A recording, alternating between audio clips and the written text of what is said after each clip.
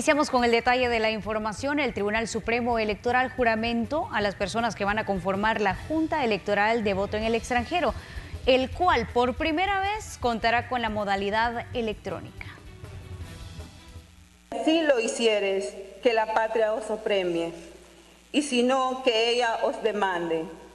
El Salvador ya tiene la Junta Electoral de Voto en el exterior y está conformada con tres personas propietarias e igual número de suplentes, propuestos por Nuevas Ideas, Gana y Arena, partidos que obtuvieron la mayoría de votos en la elección legislativa del 2021.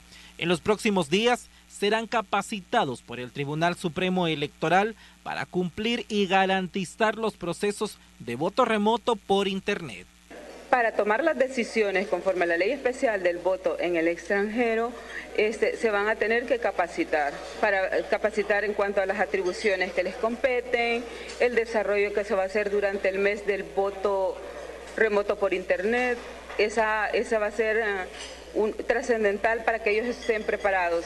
Los salvadoreños que tengan en su documento único de identidad la dirección de donde residen en el exterior tendrán un mes a partir del 6 de enero para votar en línea y quienes conserven la dirección de El Salvador deberán llegar a alguno de los 81 centros de votación confirmados. Si es en línea a partir del 6 de enero va a ser todo un mes para votar en línea si tienen su DUI con la dirección en el exterior. Si su DUI es con dirección en El Salvador, van a tener que llegar a un centro de votación, igualmente si es con el pasaporte. Eh, confirmados, este, tenemos 81 centros de votación, 59 ciudades que llevamos, voto presencial electrónico.